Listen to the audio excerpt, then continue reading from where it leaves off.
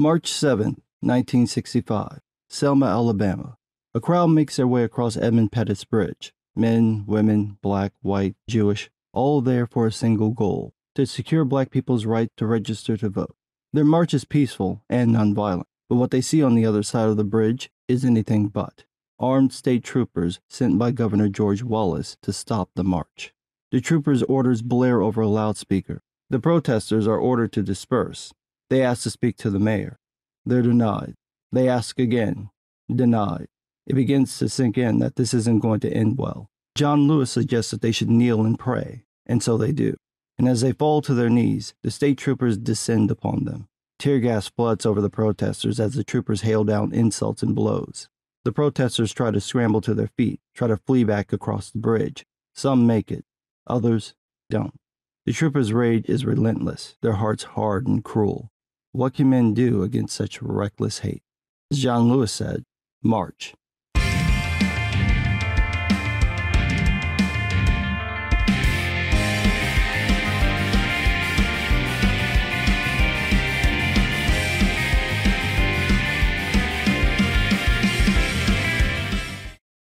When I was a kid, I hated Black History Month. It wasn't because I inevitably hear about the same five people Harriet Tubman, George Washington Carver, Rosa Parks, Martin Luther King Jr., and Malcolm X. It was because I would hear about the violence. Being one generation removed from the civil rights movement meant every adult I knew, all my family, their friends, and my teachers had lived through that era, and the stories they shared were terrifying. Insults, attacks, kidnappings, killings. Every story about the movement had a dark side every civil rights achievement a violent response. And these weren't the sanitized stories you'd read in textbooks. These were firsthand accounts told by the people who saw them and lived through them, and they had the receipts. They had films and photos proving what happened. I saw my first picture of a lynching when I was six years old. The boy or man's body, or what was left of it, burned and dangling from a tree. That image locked into my mind. I've seen plenty of pictures and films of dead bodies, and a few in person. But in the 34 years since I saw that picture, I've avoided looking at any other hangings. But I haven't avoided what I saw in the rest of that image. These smiling faces delighted at this man's suffering. If you crop the image, you think they were at a circus or a concert. But no, they were grinning in ecstasy as they watched someone die. And I would see those faces in most of the pictures and films they showed in school. I would see them sneering at teenagers being escorted by armed guards to their high school. I would see them as police set dogs on men and women dressed in their Sunday best. I would see them even as a little girl tried to go to school. As much as those images frightened me, it was nothing compared to the anger they stoked. How could someone hate another person so much that they curse them, beat them, even kill them over eating at a counter, swimming in a lake, or crossing a street? And as much as the civil rights activists achieved, every achievement was met with violence and murder, and ultimately the deaths of people like Medgar Evers, Malcolm X, and MLK. I couldn't stand it. So, when I saw that civil rights leader John Lewis wrote a comic about his part in the civil rights movement, I avoided it. Part of it was also that many graphic novel memoirs aren't that great. But the book got glowing praise, and several of my friends really liked it, so I said, okay, fine, I'll check it out. Then I found out that it was a series, and I have this thing where I like to read them all in one go, so I decided to wait until it was finished. Unfortunately, what typically happens with waiting for trades happened to me. I forgot about the book. It didn't cross my mind again until the tail end of 2019, when Lewis announced that he had stage 4 cancer. I also got sick around that time, an early victim of a certain pandemic, and due to that, I kept forgetting or delaying about the purchase until the middle of 2021. But once I got it, it proved to be an excellent read. March is a story of John Lewis's journey through the civil rights movement up to the passage of the Voting Rights Act in 1965. He gives an insight into the movement often not taught in school, the inspiration for his comic came from the very comic that inspired him to become an activist Martin Luther King and the Montgomery story. That comic helped spread the message of nonviolent protest throughout the South and later abroad. John Lewis shared this story about the comic with his telecom and tech policy aide, Andrew Aydin. Aydin was so inspired by the comic, the election of President Obama, and Lewis's stories that he suggested John Lewis write a comic about himself. Lewis hesitated, but eventually agreed, particularly after Obama urged him to do it. The condition was that Aydin would write it with him. Lewis and Aydin wrote the book and then signed a deal with Top Shelf to publish it. Nate Powell, the artist, heard about the book and submitted some sample pages, which Lewis and Aydin approved. They realized the story would take nearly 600 pages to tell, and so the story would be split up into volumes. They could be broken down into three arcs desegregating stores, desegregating the buses, and finally the fight for voting rights. Credit where credit is due, Nate Powell created a masterpiece. He not only had to research all the locations, vehicles, and clothing of that period, he also had to draw some 300 real people and make them recognizable. That's not an easy task to do, and he mostly succeeds, although some faces do shift off model. His style lends itself to caricature, so his expressions are amazing. He nails the nuances of people's anger, frustration, joy, and anguish. For a comic based on real events, Powell is more than willing to make the images dynamic, to push the poses to evoke emotion. The black and white art adds to this. Powell gives us wonderful contrast with pages filled with black and gray tones to hammer in the scene, and then stark white pages to leave you captured in the moment. Where he really soars is in depicting what happened. Lewis and Aydin didn't avoid the brutality civil rights activists face. We see it in all its detail and cruelty, from the attacks of state troopers to burning bodies. It's uncomfortable, it's frightening, it's rage inducing. Even in my fourth reading, I found myself putting the book down just to take a breather. But I'm glad those images evoke that emotion because this is part of history we should never forget. We need to remember what happened in all its ugliness, to remember what it cost to get us to the point John Lewis had only dreamed of the election of the first black president. Lewis juxtaposes his story with the election of Barack Obama, opening on that cold January morning leading up to the oath of office, and then to the dinner. I love that Lewis chose this because the importance of that moment seems to be lost on some people. It was a thing that could happen, but one you probably would never see. For someone who fought for black people to even be able to register to vote, to see a black man elected to the most powerful position in the world must have been beyond a dream. As talented as Powell is an artist, and as capable as Aydin and Lewis are as writers, I still don't think they quite got the moment across, but they get very close. And I think that happens by the scenes being juxtaposed with important moments during Lewis's activism. The book starts with his life on the family farm, where he was in charge of the chickens. As a boy, Lewis took to reading the Bible and wanted to become a preacher, so he would preach to the chickens. After a visit with his uncle in the unsegregated Buffalo, New York, Lewis got to see the stark reality of the segregated South, particularly his uncle having to avoid resting and buying gas in certain areas lest he and his nephew be accosted or worse. A radio broadcast of a sermon by Martin Luther King Jr. inspired Lewis to preach his first sermon at 16, and it pushed him further into wanting to fight for civil rights. He tried applying to Troy University but was denied because of his race. He planned to fight it and wrote to civil rights leaders telling them of his intent to sue the school, which led to a meeting with Dr. King. They told Lewis the risks, not just to himself, but also his family and neighbors. And while he was willing to take them, his parents weren't, and they refused to go along with the lawsuit. They told him to stay out of white folks' way, stay out of trouble. But Lewis had other plans. He was gonna make trouble, good trouble. Lewis attended workshops on nonviolent passive resistance. He and the other members of the Fellowship of Reconciliation, FOR, planned on doing sit ins to desegregate lunch counters, specifically Woolworth. This wasn't an easy task. They had to prepare themselves for what would come the insults, humiliation, and violence they would face, and the rage it would inspire. They did this by doing it to each other. Remember, these weren't strangers, these were friends. Imagine saying the most vile and hateful things you could possibly say to someone you like, someone you love, just to find their breaking point, and then keep trying to break them. And it didn't just end with insults. They pushed each other, poured water on each other, spat on each other. They did the things that would be done to them. And sure, as Lewis admitted, some of it made them laugh. But everyone has their limit. FOR finally got set to do the sit in in Nashville. They did some test runs where they would go to ask to be served, get told to leave, and then leave. They were all ready to go when the Greensboro Four beat them to it. That didn't stop Lewis and his group. They went and sat in, and at first, they were verbally harassed. Then the beatings began. However, they seemed to peter out once the white teenagers realized no one was going to fight back. Eventually, the police arrested Lewis and his group, but instead of feeling fear, he felt liberated. He and his group refused bail, which embarrassed the racist court. The mayor, Ben West, later had them released. The black community in Nashville also boycotted downtown stores, forcing the mayor to offer a partial desegregation. But Lewis rejected this as nothing more than partial segregation. Lewis and the rest of the four went back to doing sit ins. Unfortunately, it didn't take long for things to escalate. There was a bombing of someone's home. No one was injured, but the bombing was ignored by the authorities. That's one of the most frustrating parts of what happened. There was so much overt violence, and yet next to nothing was done to address it. Even people who seemed to side with desegregation, like Mayor West, would give lip service to the cause, but not act. Instead, he gave a very familiar response to the demand that lunch counters be desegregated. They're private businesses. They can do what they want. And that is what white people did, whatever they wanted. The more peaceful and benign the protests, many of which were led by the Student Nonviolent Coordinating Committee, SNCC, the more violent white people became. They poured bleach and laundry detergent on people. They beat them. They mauled them. At one sit in, they locked Lewis and a friend in a store with a pesticide canister. It could have killed them, and that was probably the idea. The door had to be cut open by the fire department. As the protests moved from desegregating stores to desegregating buses, the violence grew.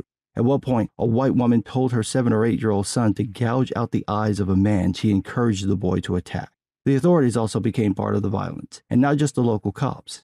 It went up to the governors of the southern states, some of whom were involved with or were members of the Ku Klux Klan. That's what happened on May 14, 1961. The Freedom Riders, as they called themselves, were heading to Birmingham. Lewis had planned to join up with his group, but he received an offer from the American Friends Service Committee to travel abroad, so he left for Philadelphia to meet them in person. He planned to meet up with his group when he got back, but while he was in Nashville, he heard a news report that his bus had been attacked by a mob and firebombed. When the second bus arrived, those riders were also attacked. The chief of police in Birmingham, Eugene Bull Connor, was interviewed and asked why there were no police waiting at the bus station after the firebombing. His explanation? Mother's Day. We try to let off as many of our policemen as possible so they could spend Mother's Day at home with their families. The truth, however, is that he promised to give the KKK 15 minutes with the bus before making any arrests. Then there was the infamous bombing of the 16th Street Baptist Church. That happened on the church's annual Youth Day, so the church was filled with children. That didn't stop white racists from bombing the church, though, injuring 21 kids and killing Addie Mae Collins, Carol Robertson, Cynthia Wesley, and Denise McNair. As Lewis says, quote, Four little children murdered in the house of the Lord. How could our quest for human dignity spawn such evil? That evil escalated as the quest moved from desegregation to voting rights. The South was notorious for blocking black people from voting by making registration impossible. While everyone had to fill out forms to register, the treatment of whites and blacks was very different. As Lewis says in a book, quote, in some places, African Americans were asked to count the number of jelly beans in a jar or the number of bubbles in a bar of soap. The registrar of voters held all the power and could decide to waive or strictly enforce any of the rules at any time for any reason. This included literacy tests, often only given to black applicants. They were filled with questions meant to trip up even the smartest person, but not everyone had to take them. Even if a black citizen were able to register, their name would be printed in the local paper, making them a target. The White Citizens Council could pressure their employer to fire them. Their house could be burned down by the KKK, or worse. And worse did happen. The plan was to go into the Deep South, into states like Mississippi, and register black people. SNCC even decided to hold a mock election called the Freedom Vote just to give people a sense of getting to vote. However, this was taken as an invasion, Lewis says, as an attack on the Southern whites' way of life. The state's governor and various city mayors responded by deputizing and arming dozens of white men, doubling the state patrolmen, and even bringing in an armored personnel carrier known as Thompson's Tank.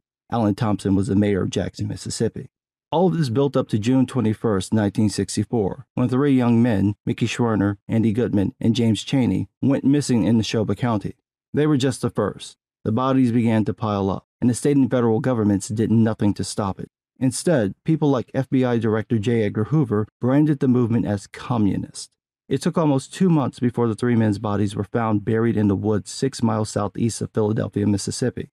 Over the course of that summer, there were 1,000 arrests, 80 beatings, 35 shootings, 35 church burnings, and 30 bombings. All this violence to stop black people from exercising their right to register to vote. And as this went down, President Lyndon Johnson signed the Civil Rights Act of 1964 into law. It banned discrimination in public places, barred it in hiring practices, and desegregated public schools, libraries, and parks, but it offered no voting rights protection.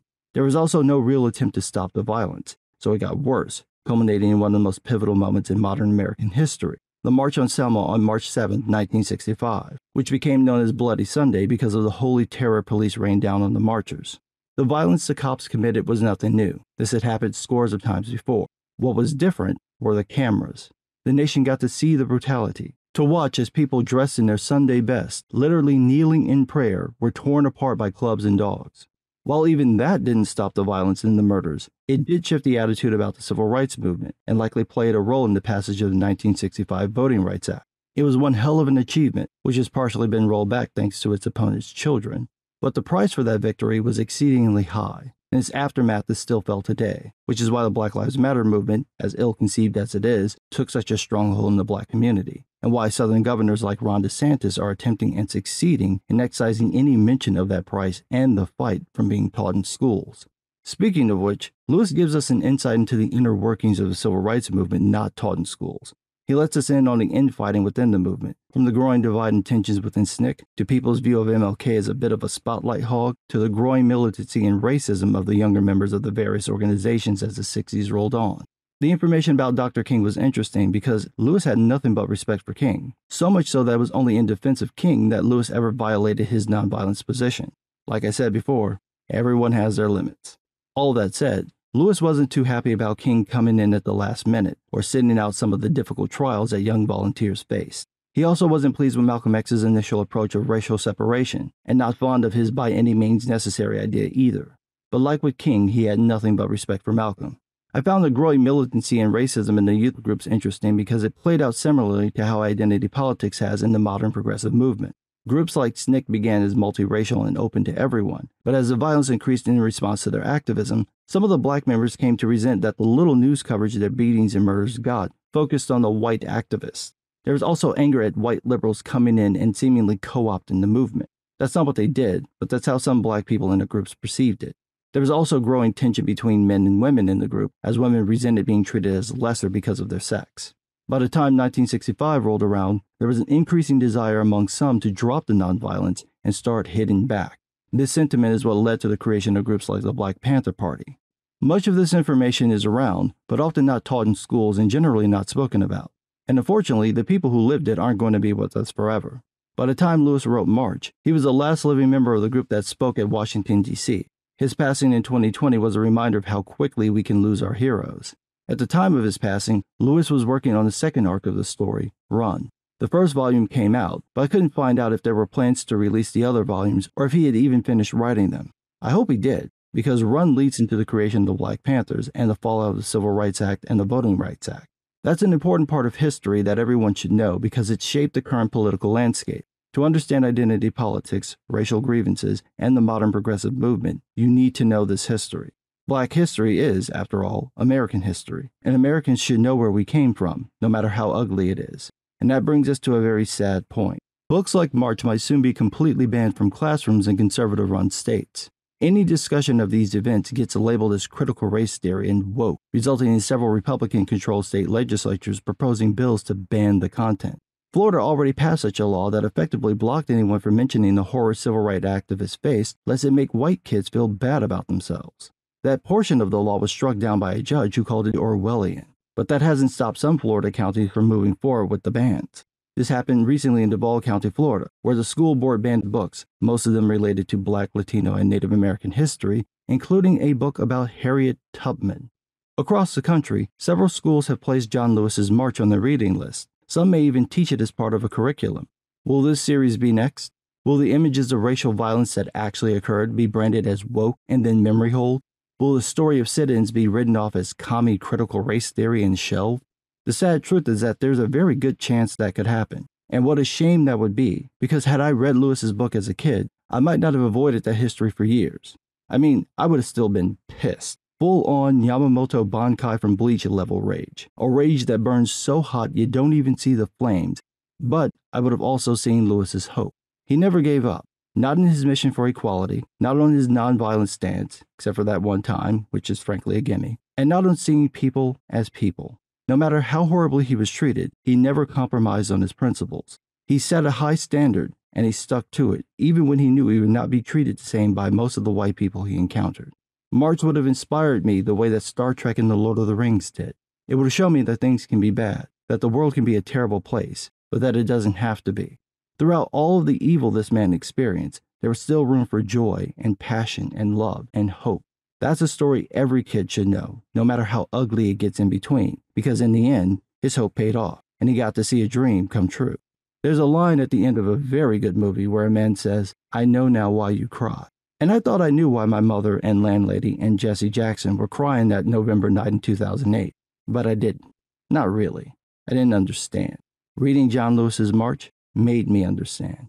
So I can't recommend this book enough. Buy it, read it, read it again, give it to your kids, put it in libraries, teach it in class. This is a book everyone should read.